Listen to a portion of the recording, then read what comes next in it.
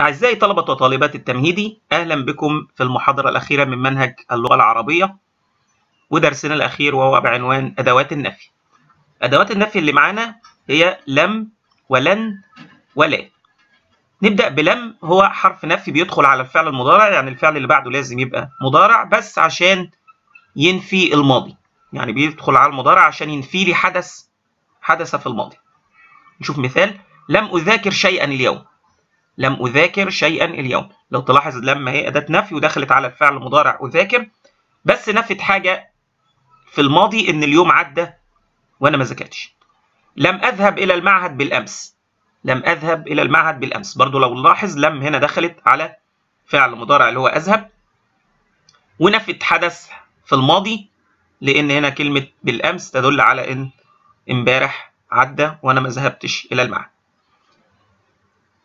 حرف النفي اللي بعد كده لن دي بتنفي برضو بتدخل على المضارع بس عشان تنفي المستقبل.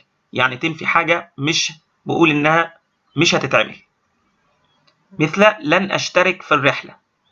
لن أشترك في الرحلة. يعني الرحلة اللي طالعة إيه لسه هتطلع في المستقبل أنا لن أشترك فيها. يبقى لن هنا بتنفي المستقبل. لن أذهب إلى المعهد غدا. قصدي أقول بكرة مش هروح للمعهد. برضو الملاحظ هنا إن بعد لن فعل مضارع بس هنا عشان أنفي الحدث في المستقبل. لا بقى مختلفة إنها بتدخل على الفعل وبتدخل على الاسم. يعني لم ولن لازم يبقى فعل بعدها. لكن لا ممكن تبقى بعدها فعل وممكن تبقى بعدها اسم. نشوف لو بعدها فعل الصداقة كنز لا يفنى. يفنى هنا اهي فعل. وجت قبلها لا. طيب لا مكان للكاذب بين الأصدقاء. طبعا مكان هنا اسم ولا دخلت آه نفتة. برضو كمان لما أقول لا يأس مع الحياة. لا يأس مع الحياة. يأس هنا اسم.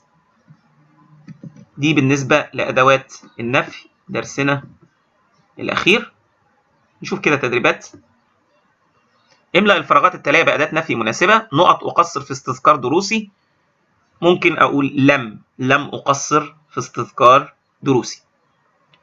نقط أحب الكذب. ممكن هنا لا أحب الكذب. نقط أقابل صديقي غدا. غدا هنا يبقى بكرة يعني مستقبل. يبقى مش هتنفع معاه لم ولا لا. فهتنفع لن اللي هي بتنفي المستقبل. فهتبقى الجملة لن أقابل صديقي غدا. نقط أجد صديقي في النادي اليوم. يبقى اليوم هو عدى وأنا ما وأنا رحت النادي خلاص واليوم عدى وأنا ما قابلتش صديقي. في هنا هستخدم لم لانها بتنفي الماضي أعرف الكذب ولا الشر. هنا طبعا هتنفع لها لا لا أعرف الكذب ولا الشر. وممكن كمان أقول لم أعرف الكذب ولا الشر. بس هنا الأحسن أو الأدق لا أعرف الكذب ولا الشر لأن في لا هنا تاني أستمع إلى الكذاب. برضو هنا ممكن ينفع لها لا. لا أستمع إلى الكذاب. أسهر أمام التلفزيون. برضو هنا ممكن ينفع لها لا. لا أسهر أمام التلفزيون وممكن لم أسهر أمام التلفزيون. نقط مكان للخائن بين الشرفاء. طبعا مكان أهي اسم. يبقى مش هينفع لها لا لم ولا لن. فيدخل عليها هنا لا. لا مكان للخائن بين الشرفاء. انفي الجمل التالية مستخدما أداة نفي مناسبة أقطف الأزهار من الحديقة. ممكن تنفع لها؟ لا أقطف الأزهار من الحديقة. الذهاب يوم الجمعة إلى النادي. طبعا يوم الجمعة ممكن يبقى لسه ما جاش. فأقول إيه؟ لن أذهب. لن أذهب يوم الجمعة إلى النادي. أجد كتابي الذي فقدته. يبقى فقدته هنا إيه؟ حاجة ماضية أهي يبقى أقول لم أجد. بحثت عليه يعني خلاص ولم أجده. يبقى لم أجد كتابي الذي فقدته حب الضوضاء والصوت العالي؟ طبعا لما لما هاجي. أنفيها؟ أقول لا أحب الضوضاء والصوت العالي. كتابة الواجب المدرسي؟ هنا لما أجي أنفي أقول إيه؟ ها؟ لم أكتب الواجب المدرسي. حب الحيوانات؟ ممكن أنفي أقول لا أحب الحيوانات. طبعا هنا في, في الأمثلة الثلاثه دول هو جاي لك الكلمة اسم أنت تحولها بقى لفعل في النفي. نشوف القطعة مروان تلميذ نشيط. طبعا تلميذ هنا خبر مروان هنا جملة اسمية ابتدت بمروان ويبقى تلميذ هنا خبر مرفوع وعلامة رفعه الضمة. عندما انتقل إلى مدرسته الجديدة انتقل هنا فعل ماضي فعل ماضي مبني على الفتح. رحبوا به عند قدومه إلى المدرسة. إلى هنا طبعا حرف جر. عايز يستخرج اسم مفرد ممكن تلميذ نشيط. مدرسته المدرسة. جملة اسمية مروان تلميذ نشيط. لو قال لك بين ركنية مروان مبتدأ وتلميذ خبر. جملة فعلية ممكن نقول انتقل إلى مدرسته. انتقل إلى مدرسته. جمعا في عندك كلمة أصدقاء أو أصدقائه حرفا. طبعا عندك كلمة إلى هنا اهي خلاص. وفي كلمة به حرف جر أهو. تخير الإعراب الصحيح ما بين قوسين. تلميذ. تلميذ. طبعا كان الإعراب اختياري وقلناه. هذا عامل ماهر. اجعل اسم الإشارة في الجملة المثنى وغير ما يلزم. طبعا المثنى طبعا هنا قدامي ده مفرد مذكر فهحولها للمثنى مذكر. هذان عاملان ماهران. دخل نقط المحطة. أكمل بفاعل مذكر مناسب. طبعا هنا مين اللي هيدخل محطة؟ طبعا القطار. فأقول دخل القطار المحطة. اختار الإجابة الصحيحة ما بين قوسين. الفلاح رجل نشيط. طبعا الفلاح هنا دي جملة اسمية فالفلاح هنا هيبقى موقعها مب... تمام مبتدأ. ينضج العنب في الصيف. ينضج بدأت الفعل بدأت الجملة بفعل. ينضج يعني جملة فعلية. يبقى العنب هنا موقعها مين اللي بينضج؟ العنب. يبقى العنب هنا موقعها فاعل. طيب يأكل القرد الموز. طبعا لو بصينا هنا في بداية الجملة هنلاقي يأكل دي إيه؟ تمام دي فعل. الرياضة مفيدة للإنسان. طبعا لو بصينا لبداية الجملة هنلاقي الرياضة اسم إيه؟ يبقى دي جملة اسمية. يبقى كلمة مفيدة هنا موقعها تمام خبر. للمبتدأ. طيب السمك غذاء مفيد للإنسان. بين نوع هذه الجملة ثم اذكر ركنيها طبعا لو بصينا لبداية الجملة هنلاقي كلمة السمك يبقى الجملة هنا. السمك دي طبعا اسم يبقى الجملة دي اسمية ويبقى ركنيها السمك أو المبتدأ هو السمك والخبر هو كلمة غذاء. نشوف المراجعة دي مع بعض. ضع في المكان الخالي اسما مفردا تختاره من بين القوسين. هذه الطائرة الشمس العصفور حلقت تمام الطائرة في الهواء. نقط سحابة صغيرة فأقول هذه سحابة صغيرة. أشعة نقط ذهبية أشعة الشمس ذهبية. نقط ينتقل من غصن إلى غصن يبقى العصفور ينتقل من غصن إلى غصن. رتب لتكون جملة اسمية. لعب في ياسر الكرة الحديقة. طبعا ما دام جملة اسمية ببدأ بالاسم ياسر لعب في أو لعب الكرة في الحديقة. بين الكرة تتنقل اللاعبين أقدام. يبقى طبعا هبدأ بالاسم اللي هي الكرة تنتقل بين أقدام اللاعبين. يجري وسط بسرعة الحكم اللاعبين. يبقى هبدأ بكلمة الحكم. الحكم يجري بسرعة وسط اللاعبين. طيب لو شفنا تدريب بعد كده.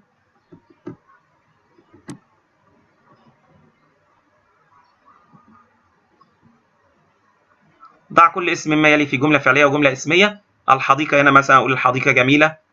الأسرة متعاونة. تمام؟ شوف تدريب تاني. ابدأ كل جملة من الجمل الآتية باسم يدل على مفرد مذكر. نقط حيوان مفترس فممكن أقول الأسد حيوان مفترس. نقط يشرح الدروس للتلاميذ ممكن أقول المعلم يشرح الدروس للتلاميذ.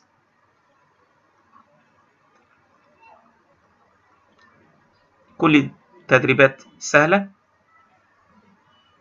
هسيبك أنت تحل لوحدك.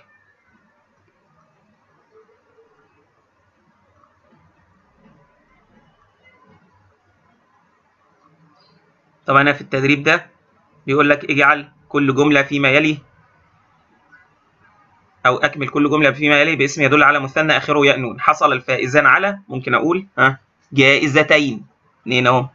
كافأ الله المتفوقين أو المؤمنين. سمعت نقط غريبين. ممكن أقول سمعت خبرين غريبين. التدريب اللي فوقيه برضو مهم. حدد الاسم المثنى بين الكلمات التالية. ماهران. طبعا ماهران اللي هي مفردها ماهر يبقى دي اسم مثنى. الامتحان. الامتحان طبعا مش اسم مثنى مع إنه آخره ألف ونون لكن ألف ونون دي من مكونات الكلمة أصلا. باكستان. دي طبعا اسم دولة مش اسم مثنى. يبقى الامتحان وباكستان مش معانا في الاسماء المثنى. متسابقان. تمام كده؟ متسابقان. مفردها متسابق وضفت لها الالف والنون يبقى دي مثنى. صديقين. برضه صديقين مفردها صديق يبقى صديقين دي مثنى. مصريتان برضه مصريتان دي مفردها مصرية يبقى مصريتان دي مثنى. أفغانستان لا أفغانستان دي اسم دولة مش مثنى. واخرها الف ونون دي من مكونات الكلمة أصلا. سائحان طبعا سائحان مفردها سائح. ويبقى هنا ضفت لها الألف والنون عشان التثنية يبقى دي مثنى. عمان. عمان دي طبعا اسم دولة والألف والنون دي من مكونات الكلمة أصلا فهي مش مثنى. سهران نفس الكلام سهران دي مش مثنى. غريبين غريبين مفردها غريب يبقى غريبين دي ها مثنى. حسين حسين مش عشان آخرها ياء ونون تبقى مثنى دي اسم واحد والياء والنون دي من مكونات الكلمة. التدريبات دي أنا هسيبها لك تفكر فيها وتحلها.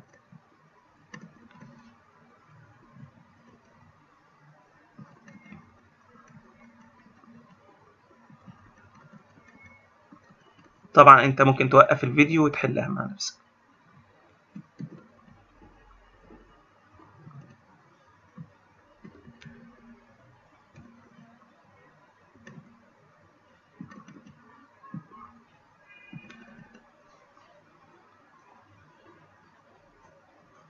هنا برضو حول كل جملة من الجمل الآتية من المفرد إلى الجمع. هذا تلميذ مجتهد. لو أحولها الجمع تبقى هؤلاء تلاميذ. مجتهدون أنت تلميذة عاقلة لو أحولها للجمع. طبعا أنت هنا تتحول في الجمع ليه أنتن. هنا ضمير مخاطب اهي أنتن تلميذات عاقلات. كتاب القراءة مفيد. لما هاجي أحولها الجمع أقول كتب القراءة مفيدة. هو مواطن مصري. لما أجي أحولها الجمع هم مواطنون مصريون. برضو الترتيب سهل. هنا نكون مثلا بيقول لك كون جملة فعلية يبقى أنت لازم تبدأ بالفعل. شأن يرفع التعليم الأمم. يبقى هبدأ بالفعل يبقى يرفع. يرفع التعليم شأن الأمم. النحل والجبال الأشجار فيه يعيش. ما دام هو عايز جملة فعلية يبقى لازم هبدأ بالفعل. يعيش النحل في الجبال أو في الأشجار والجبال.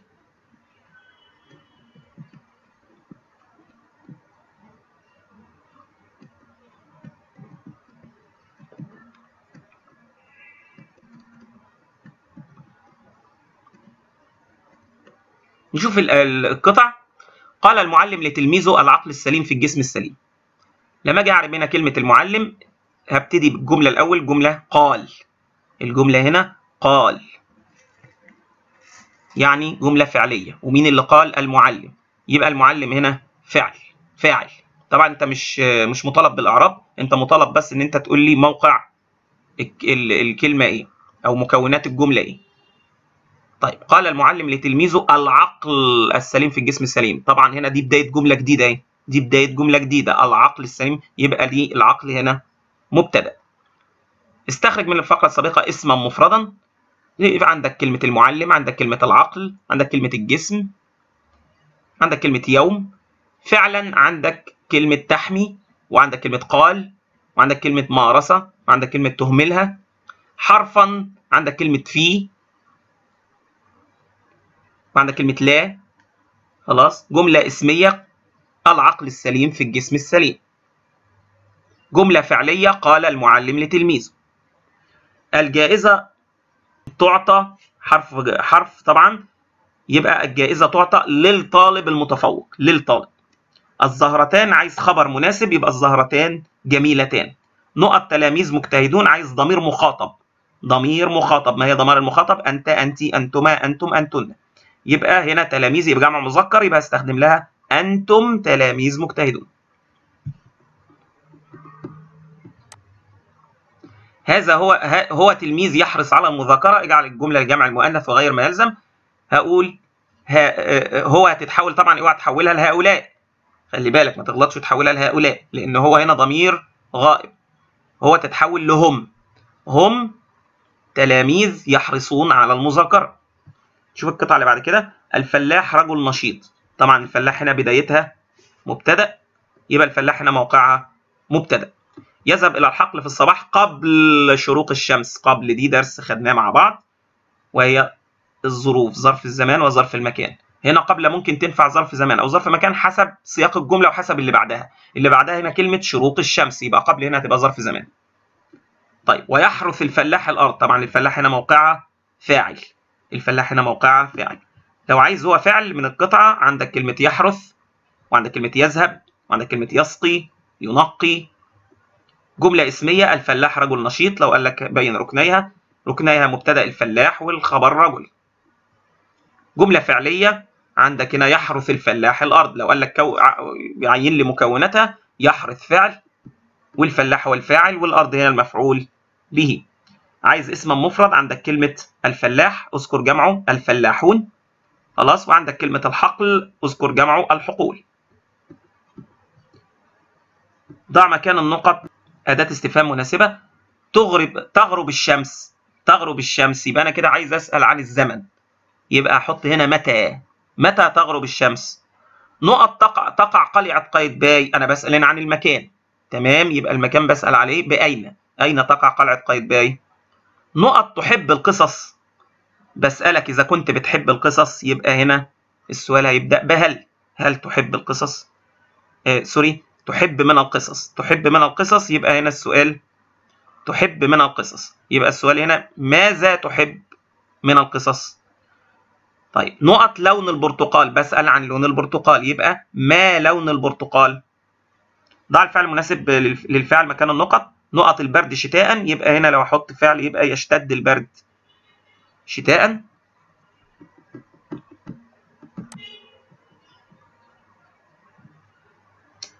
المسافر أمتعته معه ممكن أقول اخذ أخذ المسافر امتعه أمتعته طبعا اللي هي الملابس والشنط بتاعته نقط التلاميذ التلميذ القصة ممكن أقول قرأ التلميذ القصة.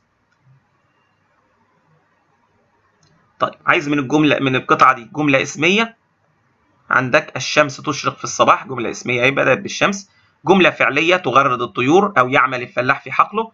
حرفا عندك كلمة في جمعا عندك كلمة مدارسهم. واذكر مفرده مدرسته.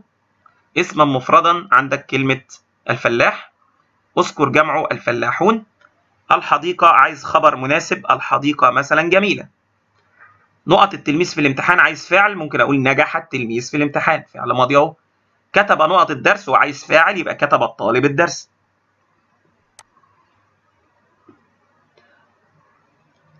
استفهم من صديقك عن عدد إخوته. آه أنا بسأل بقى عدد بكلمة آه كم.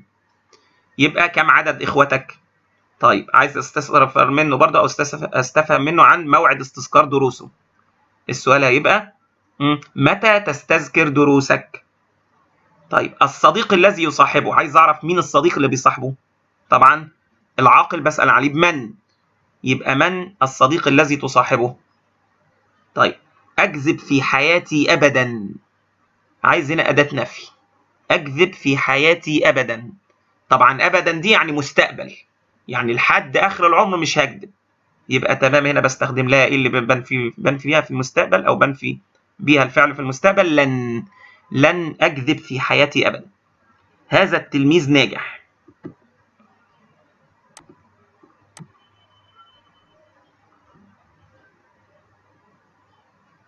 حول الجملة السابقة إلى المثنى والجمع وغير ما يلزم المثنى هيبقى هذان التلميذان ناجحان. الجمع هيبقى هؤلاء التلاميذ ناجحون. القطعة اللي بعد كده. عايز اسما عندك العلم أو العمل. فعلا عندك كلمة ينتج أو احرص أو اتقن. حرفا طبعا عندك كلمة في. نقط دروسك يا محمد. أكمل بفعل مناسب. طبعا هنا الجملة باينة إن في طلب من من محمد. يبقى ذاكر. ذاكر دروسك يا محمد. تطيع نقط أمها. طبعا هنا لو فاعل مؤنث هقول تطيع البنت أمها. يلعب محمد لو عايز هنا حرف هقول يلعب محمد. تمام؟ في الحديقة. كتب نقط الدرس. لو عايز فاعل هنا هقول كتب الطالب الدرس. الله نقط يحب الكذابين. هي هنا أداة نفي. يبقى الله لا يحب الكذابين. ضع سؤالا للاجابه الآتية. تقع قلعة قايتباي في الإسكندرية. تمام؟ يبقى السؤال هنا هبدأه بأين؟ ما دام أنا بتكلم على المكان اللي بتقع فيه قلعة قايتباي يبقى أقول أين تقع قلعة قايتباي؟ هذا تلميذ ناجح. اجعل اسم الإشارة للجمع. تمام؟ هذا هنا تتحول لهؤلاء. تلميذ هتتحول لتلاميذ ونجح هتتحول لناجحون فهتبقى هؤلاء تلاميذ مجتهدون أو ناجحون. شوف القطعة اللي بعد كده مصر عظيمة تقدم الخير للجميع. إيه لو هاجي هنا إيه أشوف موقع كلمة عظيمة موقع كلمة عظيمة هنا طبعا دي جملة اسمية بدأت بمصر هي اسم يبقى عظيمة هنا خبر. تقدم تقدم دي نوعها إنها فعل فعل مضارع. طيب لي ثلاثة إخوة؟ ضع سؤالا للإجابة السابقة. لي ثلاثة أخوة؟ يبقى مادام هنا هو بي بي بيجيب بعدد يبقى السؤال هيبدأ بكم؟ كم عدد إخوتك؟ كم عدد إخوتك؟ تمتص نقط الرحيق. هو عايز فاعل مناسب هنا تمتص النحلة الرحيق. التلاميذ المجدون يقبلون على المكتبات حول هذه الجملة إلى جملة فعلية. يبقى تمام هجيب بقى الفعل في الأول مش جمع خلي بالك. دلوقتي دي جملة اسمية بدأت بتلاميذ. لما هاجي بقى أبدأ بالجملة أحولها لجملة فعلية يبقى هبدأ بالفعل وأخليه في الأول بس ما أجيبهوش جمع يجي مفرد. ما أقولش يقبلون التلاميذ. يبقى الصح إيه؟ يقبل يقبل التلاميذ المجدون على المكتبات. يقبل التلاميذ المجدون على المكتبات. أنشأت الدولة الحدائق. إيه طبعا مين دي جملة فعلية هي أنشأت. ومين اللي أنشأت الدولة؟ يبقى الدولة هنا موقعها فاعل. بالخضرة الباء دي حرف جر والخضرة دي اسم مجرور. عايز أسلوب نفي. أسلوب نفي. طبعا خلي بالك أسلوب نفي مش نهي لأن لا تقطف أظهارها دي دي أسلوب نهي. خلاص؟ لا للعبث بها وبزينتها. لا للعبث بها وبزينتها ده أسلوب نفي طيب ظرفا واذكر نوعه. لو بصينا هنا.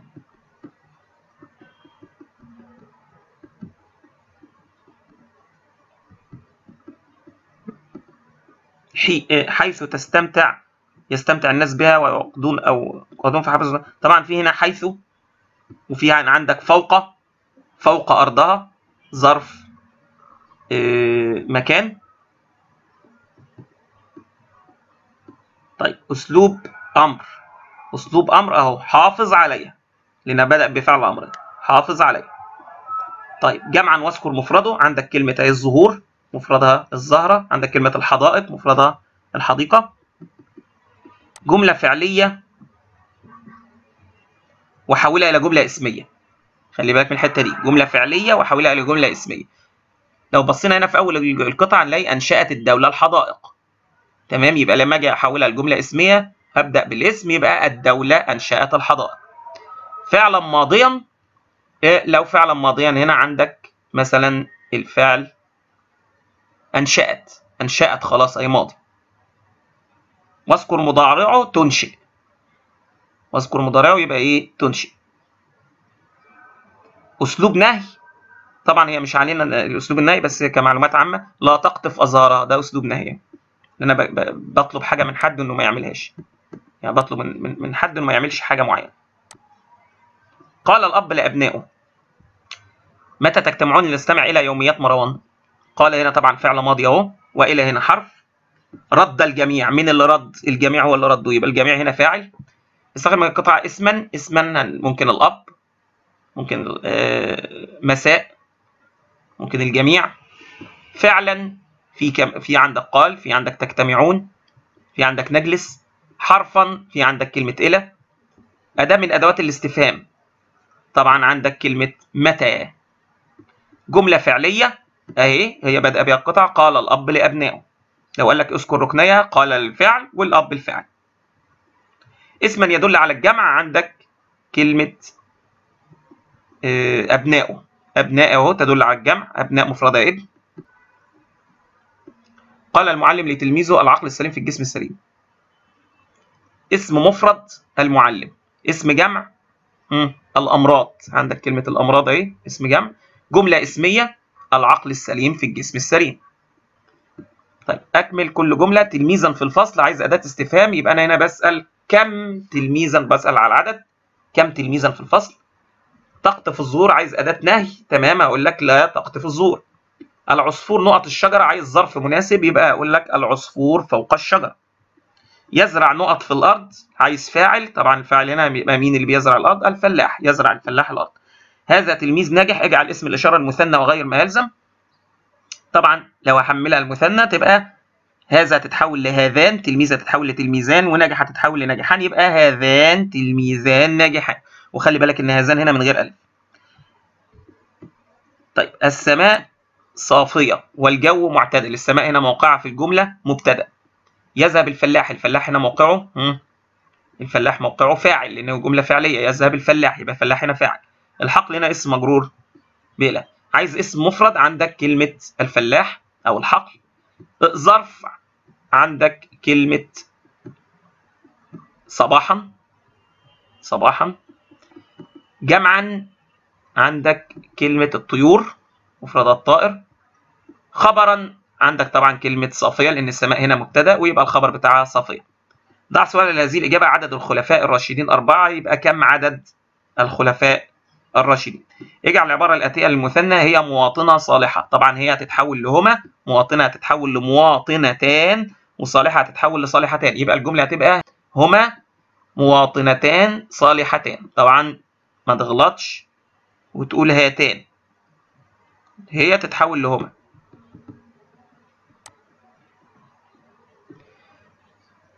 التعليم هنا طبعا موقعها لأن هنا مبتدأ جاية في الأول فهتبقى مبتدأ جاية في بداية الكلام واسمها إيه؟ فهتبقى مبتدأ. شأن. يرفع من شأن. هو اللي هيرفع. ويرفع إيه؟ شأن. يبقى شأن هنا مفعول به. استخدم العبارة الصبيغة جملة اسمية. جملة اسمية التعليم مفيد. التعليم مفيد. لو قال لك ركنية المبتدأ التعليم والخبر مفيد. جملة فعلية عندك يرفع شأن الأمم أو تهتم به البلاد تهتم به البلاد تهتم الفعل والبلاد هي الفاعل. اسما يدل على الجمع عندك كلمة البلاد أهي تدل على الجمع أبنائها تدل على الجمع. ضع مكان النقط ما هو مطلوب نقط ماهرون في الملعب. ممكن أقول اللاعبون ماهرون في الملعب. أقابل صديقي أمس أمس هنا يعني امبارح فعايز أداة نفي.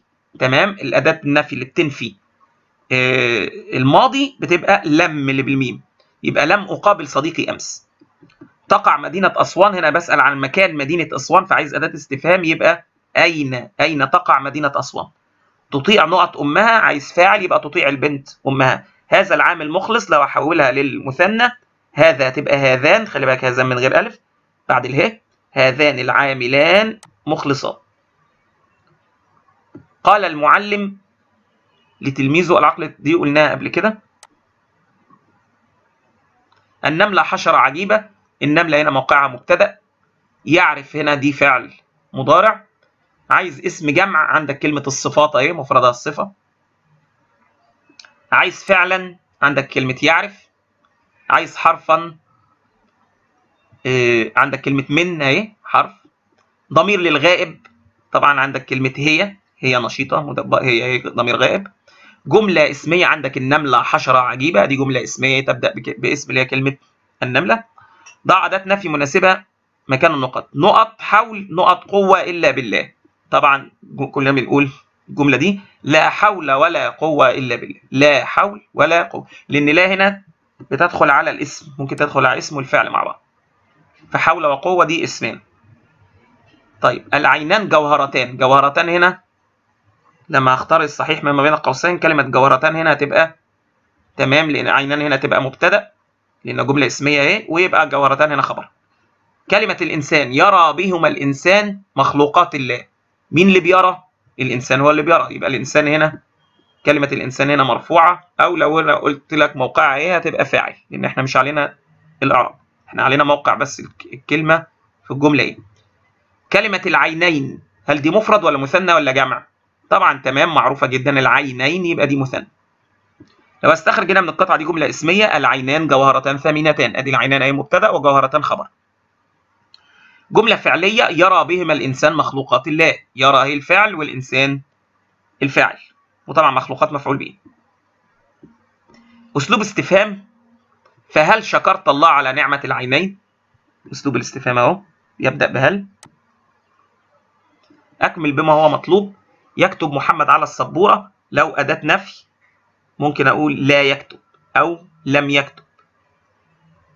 تحب قراءة القصص؟ آه يبقى أداة استفهام هنا هل. هل تحب قراءة القصص؟ هو الذي يعرف واجبه. أجعل الضمير للجمع المذكر وأكتب الجملة صحيحة. هو طبعا هتتحول لهم والذي طبعا هي اسم موصول هتتحول للذين. طبعا عندنا الأسماء الموصولة الذي التي اللذان اللتان اللائي اللاتي. وخدناها مع بعض. طيب يبقى هم هم الذين الذي تحول الذين يعرفون واجبهم. الوطن غالي يحب المصري وطنه. المصري هنا طبعا الجملة فعلية بدأت بيحب يبقى المصري هنا فاعل.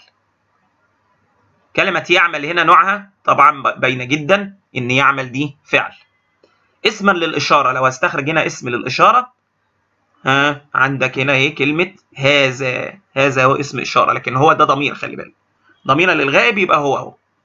اسما للجمع عندك كلمة أبناء جمع أهي. ظرفا لو عايز كلمة ظرفا عندك كلمة ليلا أهي.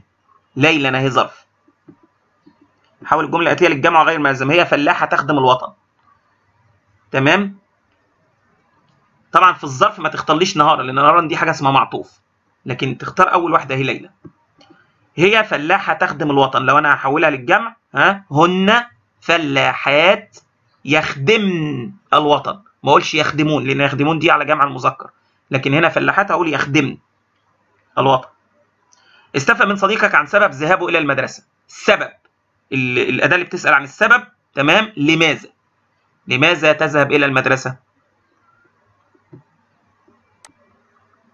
طبعا هسيب لك باقي القطع تبص فيها وتحلها.